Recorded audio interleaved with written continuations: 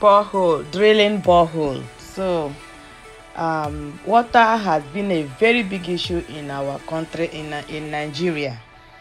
Yes water has been a very big issue. So um, because of that so people have you know um, sought uh, so many different ways to provide water to their people in their community in different communities different villages in nigeria so when uh, it's not possible for nigeria for to the for the government to provide um, water supply to the rural areas. So that uh, now led to individuals uh, philanthropists to now you know go extra mile to you know provide water to the community to their villages to their uh, families you know?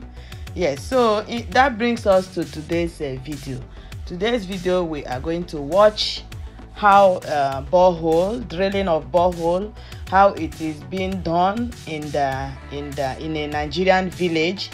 So sit back and uh, watch how we are going to how they are going to um, drill and construct um, borehole then also construct overhead tank where they will put the the the tanks that will contain the the water okay?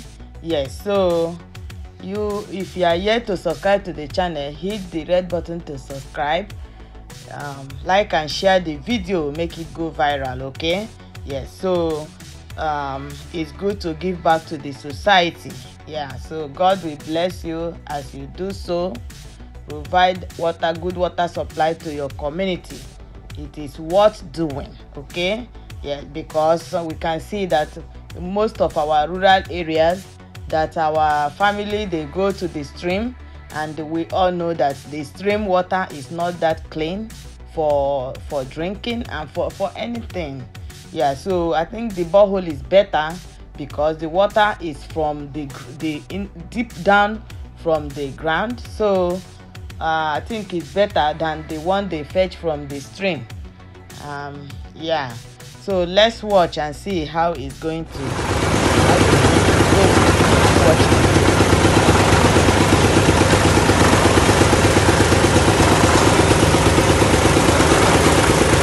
Here, here they are, they are using